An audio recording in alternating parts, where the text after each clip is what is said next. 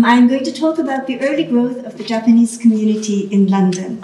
Um, you will have seen mentioned in the exhibition downstairs that one of the earliest encounters between Britain and Japan included the arrival of William Adams in a Dutch ship that ran aground off the coast of Kyushu in 1600. Among the earliest arrivals from Japan to Britain included two young Christian converts who were picked up by the navigator Thomas Cavendish when he was shipwrecked in Japan in 1587. And there was also a group of about 11 sailors who arrived in 1614 with Captain John Saris, who was chief merchant on the first English voyage to Japan. And then there was Otokichi, who was shipwrecked on the Pacific coast in America and brought to London in 1835 by a trader. Otokichi never lived in Britain, however, but worked for the British in Macau and Singapore, in, in Shanghai, and became a naturalized British citizen, taking the name John Matthew Ottoson. Otokichi was never able to return to Japan as the Tokugawa Bakufu's seclusion policy was strictly enforced and going abroad was punishable by death. The ban on foreign travel continued until 1866, but the arrival of Commodore Matthew Perry at Uraga Bay in 1853 had awakened the realization that Japan could no longer exist in isolation. And so, the first intentional travels abroad were initially in the form of Bakufu missions, followed by Bakufu students and other students sent from individual Han. Here is the photograph of the shogunate's official mission to Europe in 1862, during which Fukuzawa Yukichi served as an interpreter, and the Choshu Five, who came in 1863. Two years later, the Satsuma students arrived, and these arrivals were when overseas travel was still banned. A wave of travel abroad came with the end of the ban and introduction of permits. Not surprisingly, the first wave of migrants from Japan were samurai students who went to the West to acquire Western knowledge. Of the first 70 permits for foreign travel issued by the shogunate, 38 were given to students. Interestingly, the remaining 32 permits were issued to acrobats who took the opportunity to extend their touring activities abroad. While the samurai students would have been a fascination to the British public, I think perhaps the touring acrobats may have played a significant role in promoting the craze for Japan.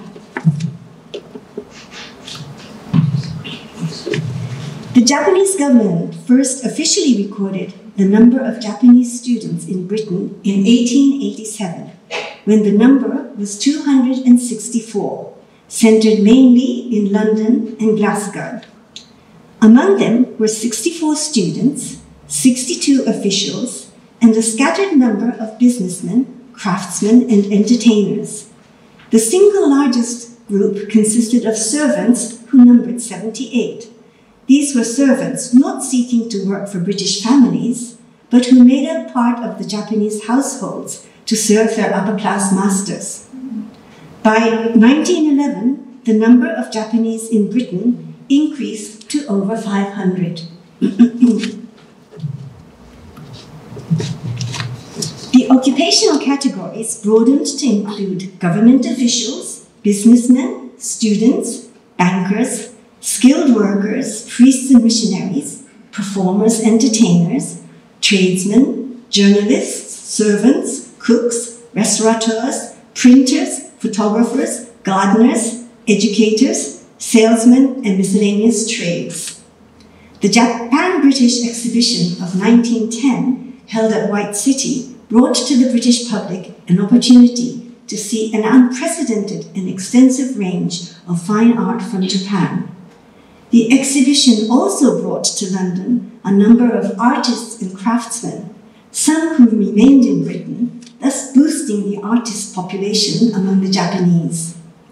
I have in this slide a distinction between expatriates and independents, the expatriates being those sent to Britain by the government, banks, or large corporations, and the independents being those who ran small businesses or were self employed. Just going back to the numbers again. Um, generally speaking, the number of Japanese increased immediately following the end of the First World War and remained on average somewhere between 1,000 and 1,500, with the exceptions of a few years in the late 1920s. The reason for the decline in numbers in the second half of the 1920s is most likely an economic one. The Great Kanto earthquake of 1923 had huge economic consequences, which contributed to the banking collapse of 1927. And many bankers and employees of trading companies based in London were recalled to Japan. The proportion of females in relation to males remained consistently low during the 1920s at between 10 to 20 percent and increased in the 1930s up to as high as 50 percent. The numbers in the parentheses here are the female numbers.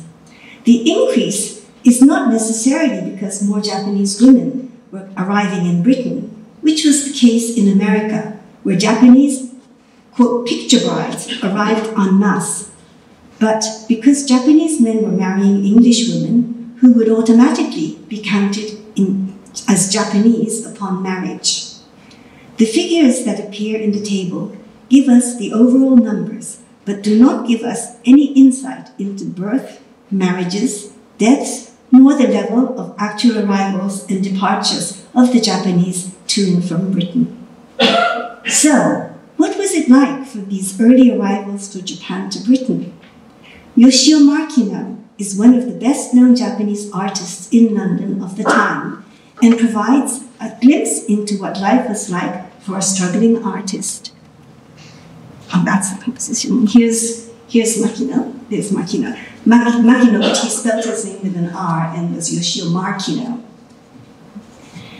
Um, he arrived in London in December 1897 after spending four years in San Francisco. Here is his own description of his move from America to Britain. And I quote While I had been there for four years, I never went out to the parks for I was frightened of those savage people who threw stones and bricks at me, and I was spat on more occasionally. Of course, they were very low class peoples, but even better class peoples had not a very nice manner to the Japanese. After such experiences, I was naturally surprised with the cosmopolitan ideas of the Londoners. I started my first sightseeing from Hyde Park and the Green Park and St. James's Park. I so timidly walked inside the rail. Nobody shouted me. Then I went near the crowds of people with still more fear. Being quite ignorant of English civilization, I anticipated some pebble showers every minute. I waited and waited with beating heart, but nothing happened to me at all. Nobody spat on me. Hello, hello, what's matter? I said in my heart. Perhaps they don't know I am Japanese. I took off my hat on purpose to show my black hair. Finally, one man pushed me quite accidentally, and he touched his hand to his hat and apologized me very politely. So even among the Japanese who had not lived in America before coming to Britain, the English sense of fair play and minding one's own business were repeatedly mentioned as aspects of British culture most treasured by the Japanese who lived in Britain in the interwar years.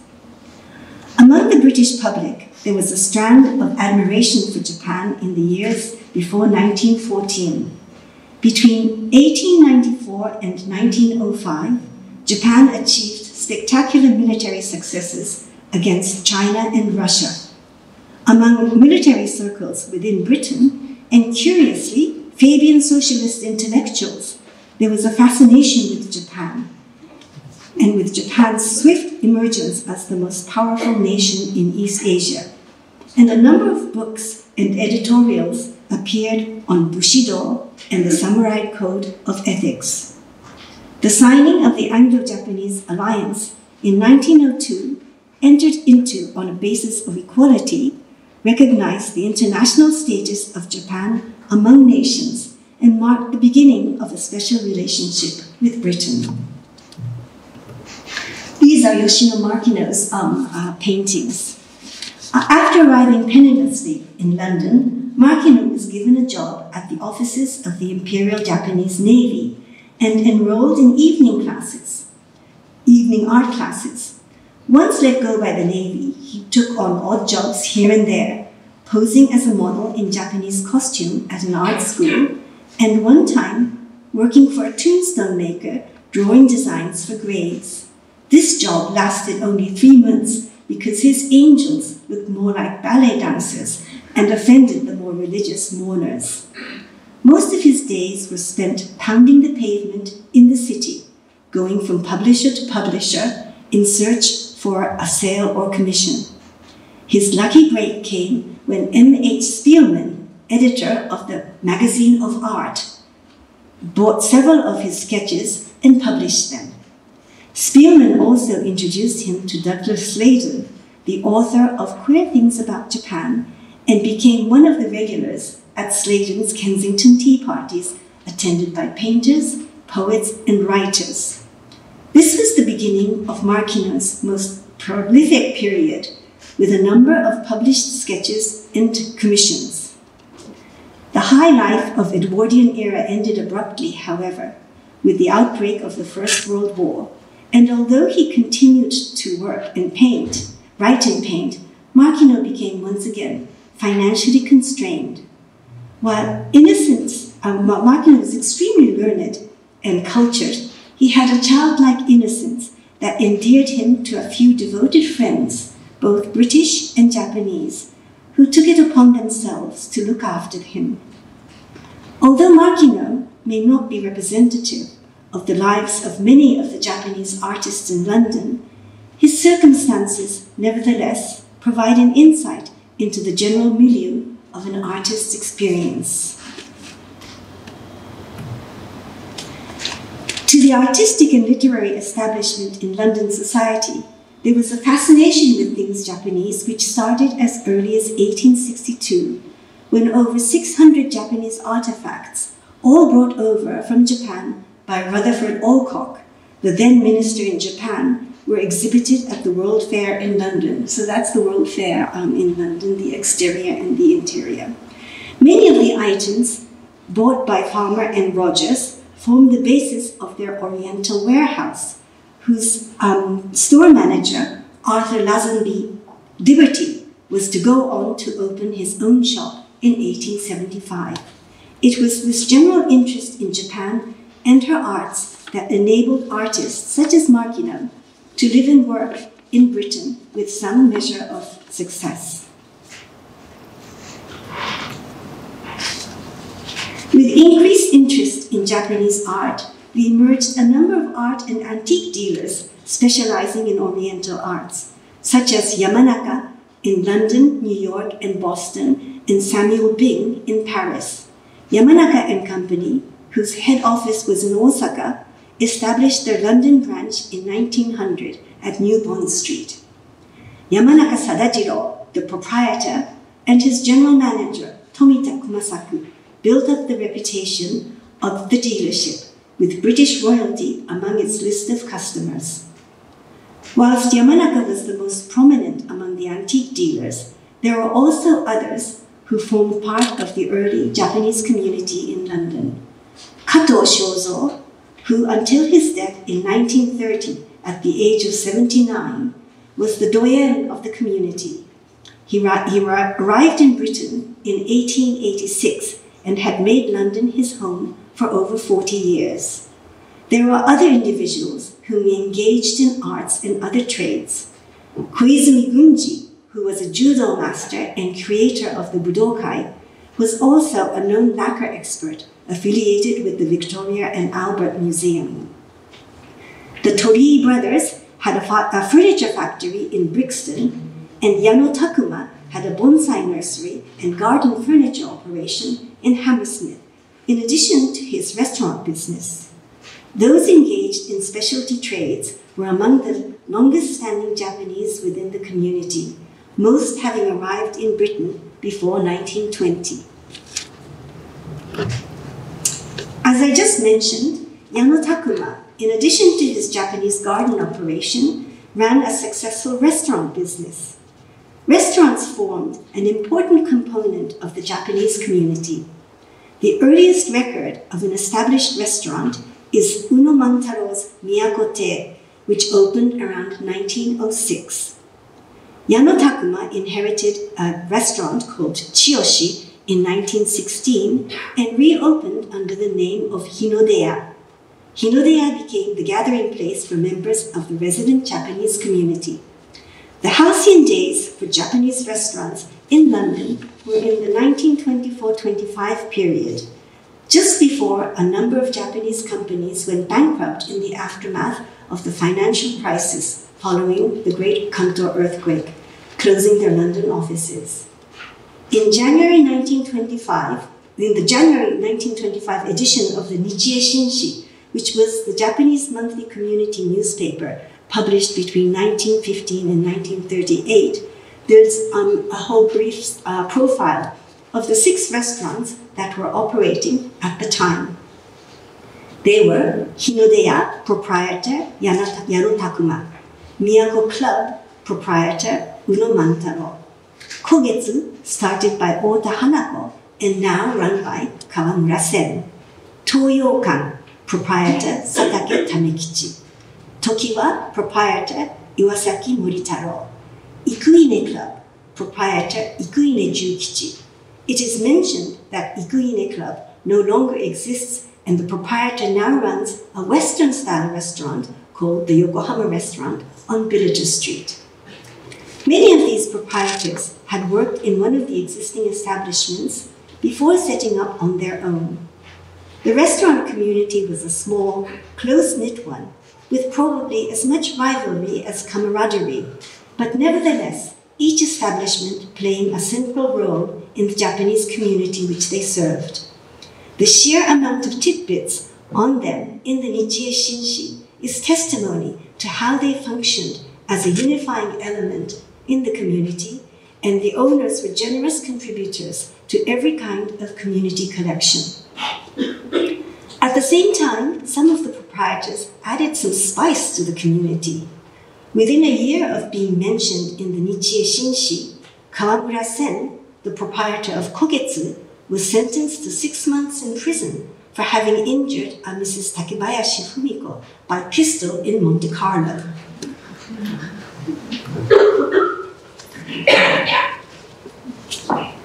As colorful as its demise was its beginning, for Kogetsu had been started by actress Ota Hanako as a sideline business in 1919 on Baker Street. Although she became an actress, Hanako's background was that of a traveling entertainer, similar to the Japanese acrobats and jugglers who had a long tradition of overseas tours. Hanako, born Oda Hisa to a provincial family in central Japan, trained as a geisha, then heard that Japanese dancers were wanted in Copenhagen and set out on her own in 1902. Whilst touring in England, she was discovered by Loie Fuller, an American dancer and impresario who had been the manageress of Sadayakko, the brilliant dancer and actress who had performed before the Prince of Wales in 1899. Sadayakko had returned to Japan, and Fuller saw in Hanako a suitable successor. Hanako toured all over Europe, and in 1906 she met Auguste Rodin in Paris, to whom she became his later life muse. He called her Petite Hanako. She was only 138 centimeters tall and had her life live in his residence when she was not touring. Rodin made many heads, masks, and busts of Hanako, and you can see one on, on the right. Another individual who I believe both benefited from and helped create the craze for Japan is Tani a jujitsu practitioner who was brought to Britain in 1899 by a Victorian entrepreneur, Barton Wright, Wright's intention was to have Tani teach his jiu-jitsu skills during the day and take on professional wrestlers in music hall acts during the evenings. Aged only 19 and standing about 5 foot 2 inches and weighing just over 50 kilos, his act was to accept any challenge from members of the audience to step up on stage and try their luck against him in any form of wrestling combat. Because of his small stature and his continuous victory over large English challengers, including well known boxers and wrestlers, Tani became quite a celebrity in those circles. With the decline of the British Music Hall in general, however, Tani's theatrical engagements also began to dwindle and disappeared altogether by the First World War. In the meantime, Tani's manager had founded the British Society for Jiu-Jitsu in 1904, and Tani was engaged as an instructor. Although Tani raised awareness of interest in Jiu-Jitsu and Judo to an extent, in Britain, the sport was regarded mainly as an acrobatic spectacle or a form of self-defense. It was only in 1918 when Koizumi Gunji established the martial arts club, the Budokwai, that judo became an established sport in Britain. Koizumi was the most remarkable individual of the pre-war Japanese community, best known for his dedication to the welfare of the community and his contribution to the spreading judo in Britain. It was never Koizumi's intention to create a judo club as a meeting place for the Japanese to socialize amongst themselves. Rather, it was his sense of mission to introduce to the West the martial arts of the East that provided the direction of the club. Within 10 years, the club's membership grew to around 330 members, over two thirds being non Japanese. I have highlighted a few individuals who formed part of the growing early Japanese community in London.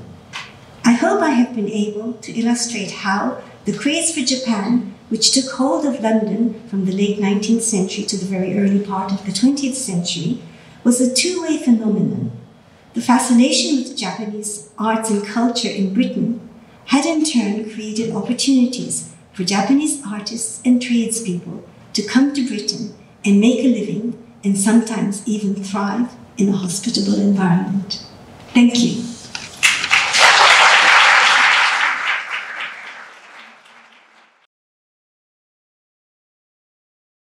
It's a great honour to be here to speak to you this evening about the Silver Studio and the influence of Japan on British design at the end of the 19th century.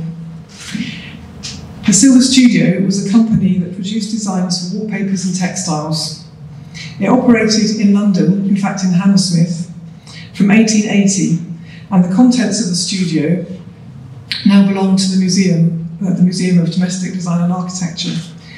So the Silver Studio gives us a kind of small case study of how British designers absorb Japanese influences and in turn how that influenced Japan's sense of its own identity.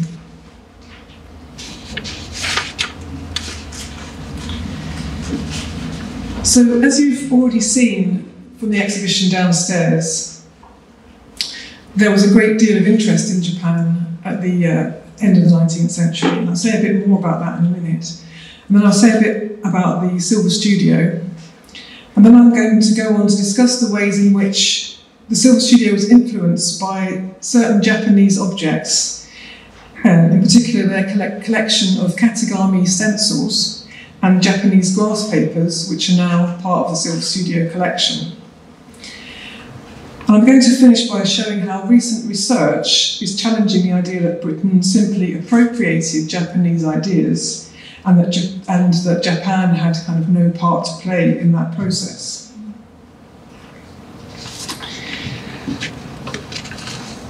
So, as we all know, um, as we've seen from the exhibition downstairs, the, the craze for Japan first emerged in the 1870s and 80s. And in these decades, Britain, um, Japan opened up to trade with the West after a long period of isolation. Europeans saw Japanese art and design as exciting and exotic because it was so different from Western culture. And it became fashionable for wealthy consumers to fill their homes with Japanese items, or things at least that they thought were Japanese. For example, in this painting, you can see fans, a silk fabric, blue and white porcelain, and wallpapers and textiles that featured Japanese motifs such as cranes, dragons, chrysanthemums, and key patterns also became very popular.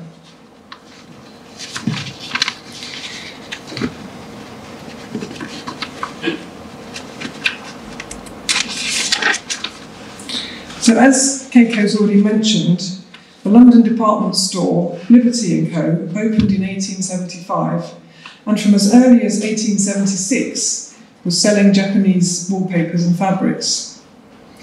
Arthur, Le- Arthur Lazenby Liberty travelled to Japan himself, as did British designers such as Christopher Dresser and Walter Crane. Other designers such as E.W. Godwin developed what became known as Anglo Japanese style uh, in terms of furniture and interior decoration. This style drew on Japanese ideas such as simplification of layout, uh, although there was some disagreement between those who wanted to draw on a thorough understanding of aesthetic principles and those who just wanted to incorporate Japanese motifs.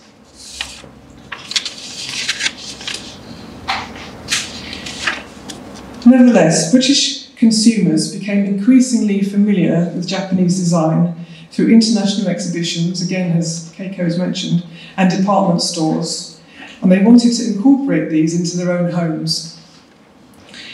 British designers, manufacturers, and retailers soon realised that there was a vast demand for Japanese goods, but that this demand could not be wholly supplied by Japanese production methods. In addition, authentic Japanese style was somewhat at odds with British tastes.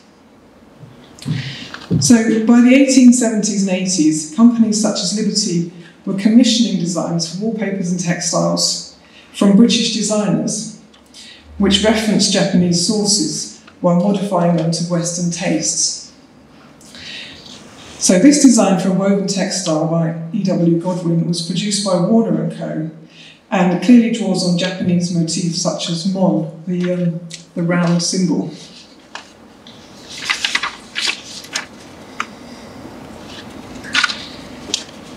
So now moving on to talk about the Silver Studio and its role in this story. Arthur Silver established his company, the Silver Studio, in 1880. So it was named for his name, not uh, the material silver. As I say, the Silver Studio was located in Hammersmith, a suburb of West London.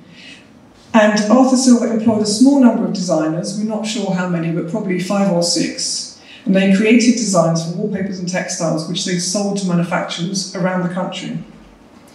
So I should explain that having started in 1880, the Silver Studio continued as a business until 1963.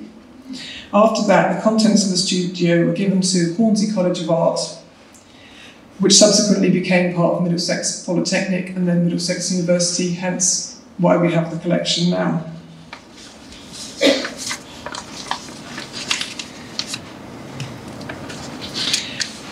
So in the 1880s, Arthur Silver and the other designers he employed produced mainly sort of naturalistic designs for furnishing fabrics and wallpaper. They sold their designs to numerous clients, including companies such as Liberty, GP&J Baker and Stead McAlpine. By that point, Liberty was commissioning Japanese-inspired designs for wallpapers and textiles from a number of British designers. So the Silver Studio was one of, one of these companies which played a key role in the interpretation of Japanese ideas for the mass market. Designers working for the Silver Studio incorporated Japanese motifs and methods into wallpaper and textile patterns for British consumers.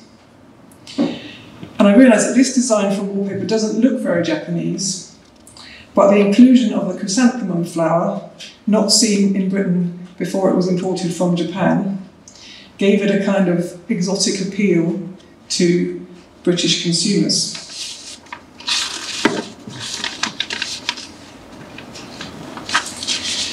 But the two key materials I'm going to talk about are Katagami stencils and grass papers or kuzufu. And both, both of these products found their way to the West not only as a result of the West's praise for Japan, but also as a result of massive changes that were coming about in Japan following the Meiji Restoration. So, firstly, to look at katagami. These are uh, stencils made from uh, washi paper. The examples that we have in MoDA are slightly larger than A4 in size. So, if you can imagine, this is an A4 piece of paper like material. Um, so, this mulberry paper, which was treated in order to make it both flexible and water resistant. And the designs were cut by hand using a variety of specialised tools.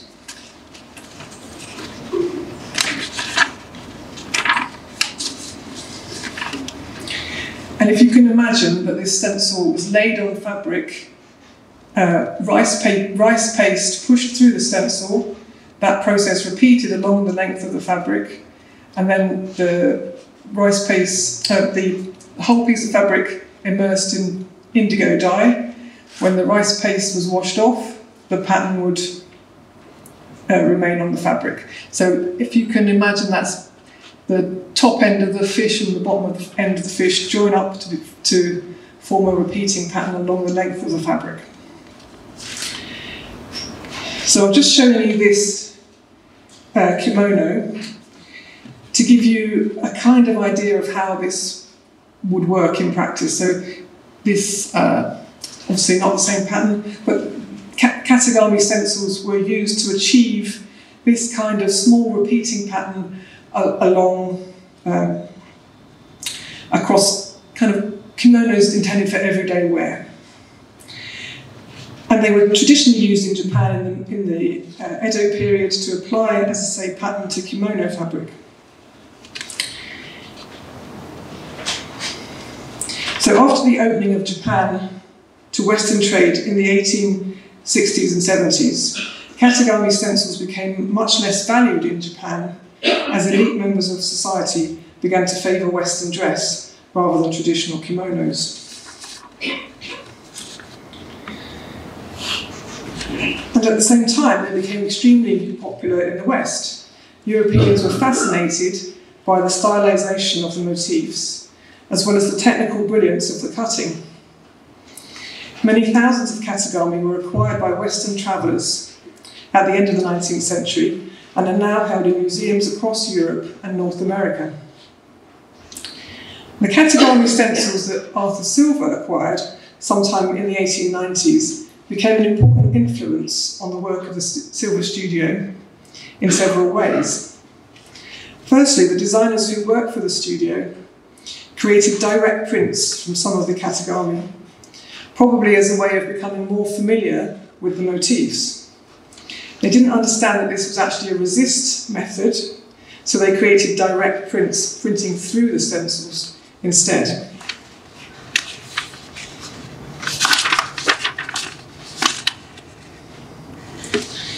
Secondly, they incorporated some of the katagami motifs into their designs for textiles, albeit in what we might see as a rather clumsy fashion. So this is a design uh, on the right for a kind of perhaps a curtain with a scalloped border. But then in the insert bits, the, this design from this katagami have been incorporated into the design. So it's a kind of hybrid of a Western or a design aimed at a Western market, but incorporating some elements of Japanese katagami in it. So for their British customers, the inclusion of motifs from Katagami in these patterns added a touch of exotic to otherwise conventional designs.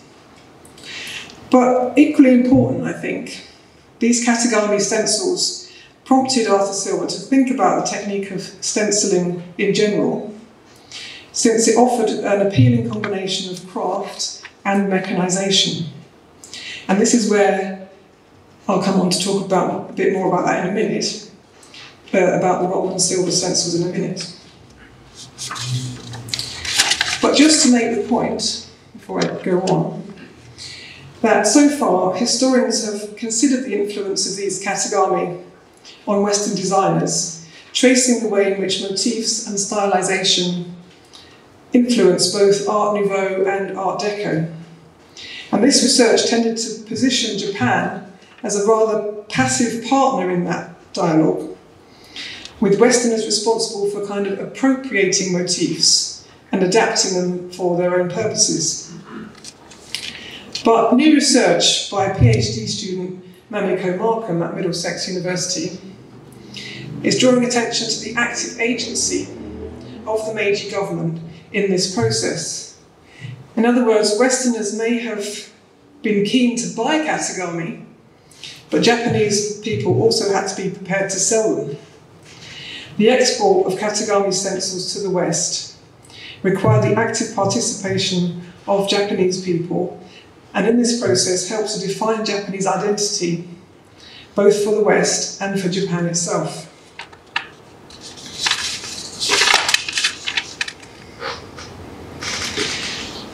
So now turning to the other key material represented in MoDA's collections, or key Japanese material rather, represented in MoDA's collections, namely grass paper or kudzufu. So in around 1893, Arthur Silver set up a new joint venture with a business partner called Alexander Rottmann. And the idea was to produce stenciled wall coverings for the British market. So other British designers were also becoming interested in the idea of stenciling around this time. But Silver and Rottmann created stenciled wall coverings using this Japanese grass paper. So their venture, their venture was based on Japanese ideas and materials developed for Western tastes, and also influenced by his knowledge of Katagami. So again, the selling point of these wall coverings was their association with ideas of Japan rather than claiming to be authentically Japanese.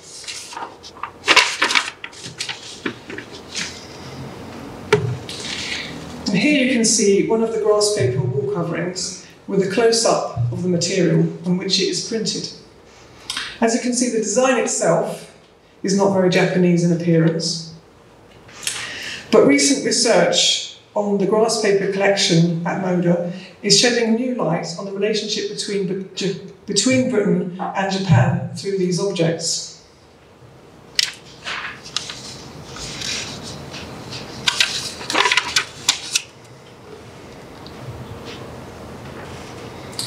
So Professor Inaba from Japan has shown that this material, which we didn't, we were just calling this grass paper, we didn't know exactly what it was.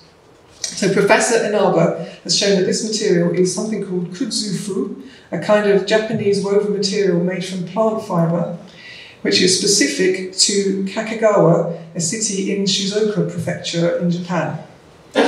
And Professor Sugawa Higoi, I'm sorry if I pronounced that incorrectly, who is another leading expert in this kudzu fabric, confirms that this grass paper in the Silver Studio collection must have come from Kakegawa. So kudzu is a plant-based fibre made from a fast-growing vine not dissimilar to Japanese knotweed, which once processed into a fibre can be woven into this elegant and hard-wearing fabric, as you see here.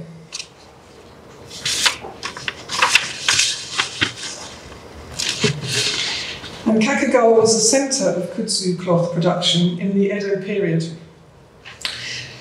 It was one of the 53 stations on the Tokaido Road which connected Tokyo and Kyoto, and the process of kudzu weaving was depicted by Hokusai, as you see here, in one of his famous series of prints. So during the Edo period, kudzu cloth was favoured by the samurai class but after the Meiji Restoration, demand for the fabric for clothing purposes reduced drastically. Again, as people began to favour Western style dress. And as a consequence, Japanese producers started to make this cloth in wider widths and to export it to the West for use as wall coverings. So they changed their looms, making them slightly wider, three foot wide. So this export process was not government led, but was operated independently by private producers in Kakegawa. So again, we can see this as an example not of Japan standing passively by while the West appropriated its cultural products, but of Japan taking an active part in re- reinventing those products for export as part of the huge social and economic change that was happening as a result of the uh, Meiji Restoration.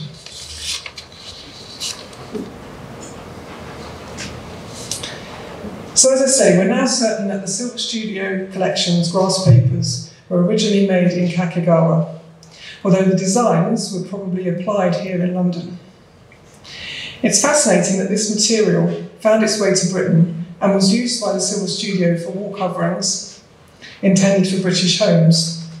Professor Inaba is planning an exhibition of this material, kudzu or grass paper, in Kakegawa in 2025, and we're hoping to lend her a number of items from our collection. So, to conclude, when I first started researching the Japanese objects, which are part of the Silver Studio collection, I followed the accepted view that Westerners simply appropriated Japanese motifs and materials, and that Japanese people themselves played very little role in that process. So I'm really delighted that new research carried out by Mamiko Markham and Professor Inaba in Japan is demonstrating that the picture is much more complex, much less straightforward. It's becoming clear that the government, the Japanese government, and private industry played an active part in the export of particular kinds of design goods, and in particular, Katagami stencils and kudzu textiles. This process helped to shape Western perceptions of Japanese national identity and perhaps also influenced Japan's perception of itself during the last decades of the 19th century. Thank you.